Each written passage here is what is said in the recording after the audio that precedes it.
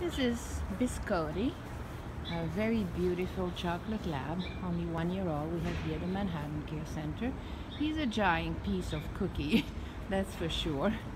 Very friendly, very strong, like a young lab, of course, they're all strong.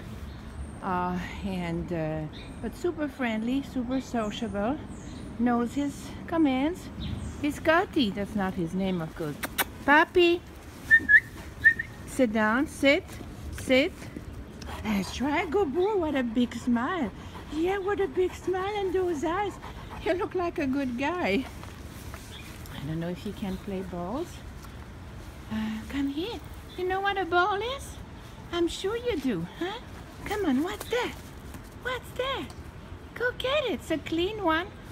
Smells soap still. Hmm? What that? Go get the ball. Come on, get that ball. Come on. Oh my gosh, you don't get the ball. Come on. Come on, go get it. Come on, go get it. Woohoo! He's a strong guy. so what? You just you just catch it and that's it? Nothing more than that? No? Let's try again. Ah, no. Biscotti is really a beautiful, beautiful dog. Yeah, you deserve another, another treat. Come here.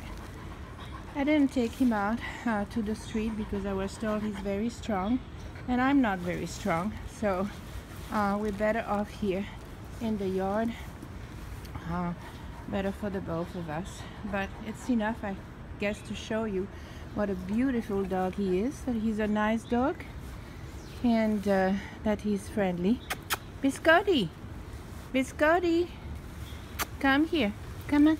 Come on here. That's right. That's a good boy. That's a good boy. Yeah. Yeah. Yeah. There's no handling issue. Everybody has made already very good comments about him. I think he had already a behavioral evaluation. Look how he's wagging his tail. And that he did very well. So this is Biscotti for you, one year old chocolate lab here at the Manhattan Care Center.